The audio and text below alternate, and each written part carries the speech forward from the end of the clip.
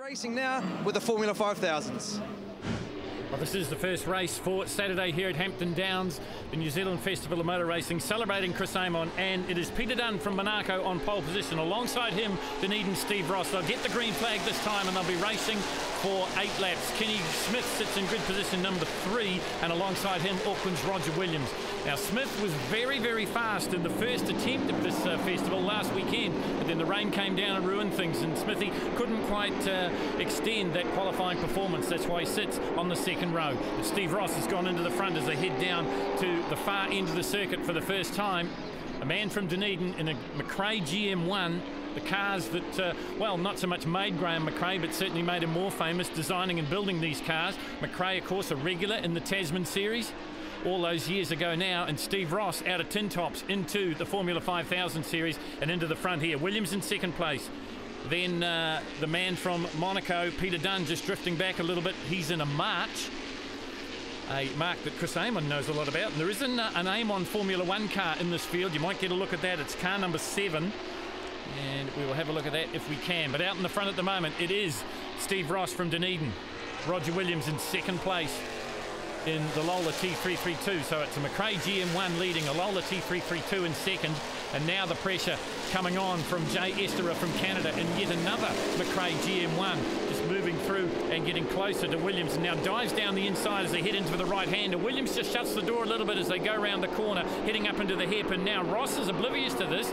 He won't be able to see what's going on behind him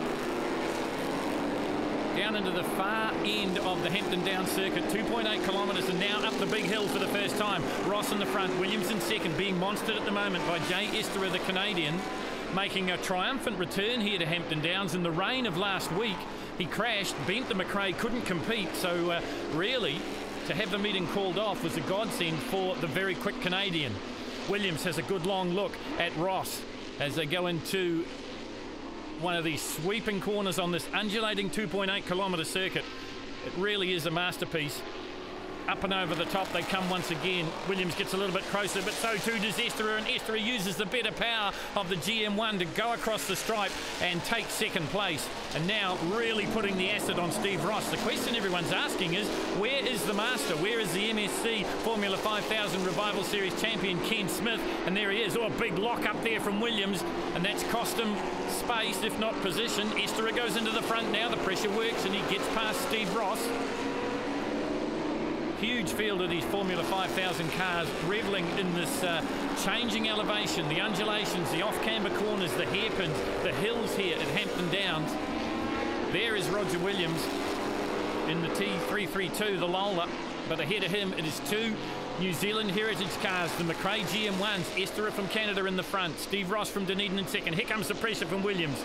Sneaks right up under the rear lid spoiler, trying to get as close as he can, maybe disturb the aerodynamics around Ross to make a little bit of an advantage as they come up the hill once again. Full speed in these small block Chevy powered Formula 5000s. Had their heydays in the 70s, but gee, their heyday has come again here. A huge field of 5000s representing all the major marques and all the major countries that race the 5000s the English, the Canadians, the USA, Australia, and New Zealand. And it's the New Zealanders that have been waving the flag. It's a New Zealand car that is leading the race at the moment, but it's not a New Zealander in it. It's Jay Esterer from Canada. There is Ian Clements, a past Formula 5000 Revival Series champion out of Christchurch, having his own little battle there. As we go back to the front of the field, Williams has got around uh, Steve Ross now and Ken Smith knocking on the door. Great performance coming here from number 139, and that is Clark Proctor in the uh, brand new car for Clark. He only bought this car just a week ago on the eve of the New Zealand Festival of Motor Racing celebrating Chris Amon. It is the ex-Tony Roberts March. This is Roger Williams. Across the stripe he goes and already being distanced by the rest of the field. Yellow flags fly, so there's been an incident in that very difficult off-camber turn one, and you'll see when we get a shot as they come up over the hill, as they come up over the top, that turn is absolutely blind, and you hit it at just about terminal velocity. There's the man that sat his car on pole, that's Peter Dunn from Monaco in the March. He's made the trip here for the Chris Amon celebrations, the New Zealand Festival of Motor Racing. Already into the lap traffic, you just get a glimpse of the Lola T430 of Ken Smith, number four in the Belgian team colours. There's a blast from the past if ever there was one. The past Gold Star champion of New Zealand, number 99, Reg Cook. For the last 15 or so years, he's been concentrating on rallying and not the single-seater stuff. But great to see him in a Formula 5000. Oh, there's a problem here for Williams, a mechanical issue for the popular Aucklander, and that means he will take no further part, and it means Steve Ross has re-inherited second place, but now he's under intense pressure from the master, the 69-year-old Ken Smith, three times a New Zealand Grand Prix champion and four times the Lady Wigram champion.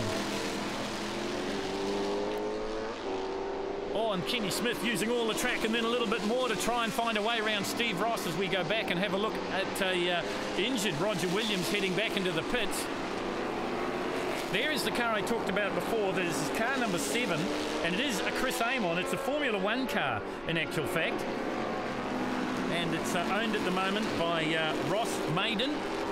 He's brought it all the way from the UK to celebrate with us here for Chris Amon. There's number 31. You see the one on the side of the car? Well, I looked back through the record books, and to my knowledge, Jay Esterer has never won a championship, but he's got the cheeky one on it, and he's doing the job at the moment. The Canadian out in the front.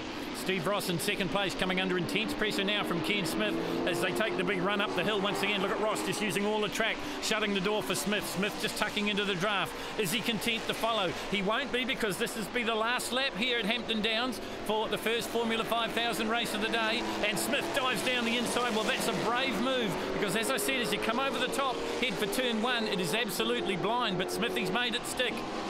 So now he is in hot pursuit of Jay Esterer. Well, we saw this a few years ago when Esterer made his first appearance at the MSC Formula 5000 Revival Series. That was at a rain-soaked Powerbuilt raceway in Christchurch for the Lady Wigram Trophy. There, Ken Smith got the better of him. Here, the tables have turned. It is Jay Esterer in the front. Smith starting to close them down. They work their way through the hairpin. Well, time is running out for Ken Smith to try and make a challenge on Jay Esterer from uh, Canada. He competes regularly in the uh, Formula 5000 Revival Series up in the United States of America and in Canada. Runs a, McLaren Can-Am car as well, so uh, he's living the best of both worlds.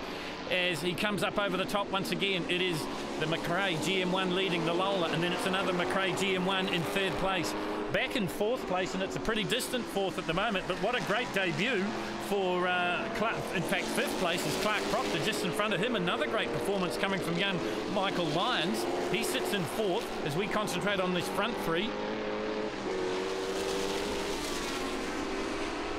Here's a little bit of a battle going on further down through the field. This is car number 12. This is Warwick Mortimer. Well, he divides time between his 5000 and his red hot open BMW in the Castrol BMW series. If you asked him, he'd probably say he likes the 5000 a little bit better. This is the race leader, though. Esterer Smith, Ross, the three of them go through. In fourth place, as we said, Michael Lyons. Great performance from the young man from the UK, the son of Frank and Judy Lyons, who've been coming here for years and years and years.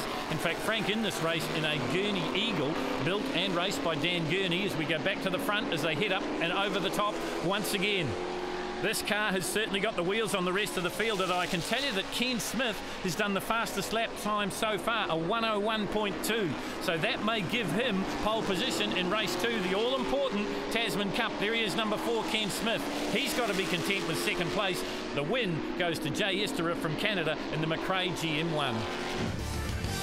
So it is Esterer. It takes the win from Kenny Smith. Steve Ross is third. And as I said, a great performance from Michael Lyons. And Clark Proctor in his debut in a 5,000 finished fifth. Marion Brown, we're here at the New Zealand Festival of Motor Racing at Hampton Downs, and what a great event, a great festival for Auckland City. Oh, it is, it's fabulous, and uh, it's good to see uh, the two areas of Waikato and Auckland working close together, uh, supporting Hampton Downs. Half Auckland's emptied out into this, or the drag strip next door. So, uh, but it's a fabulous facility, uh, and my hat off to the investors who've basically put this together through private enterprise and, and really put a brilliant amenity in place. And perfect day for it, really, not too hot.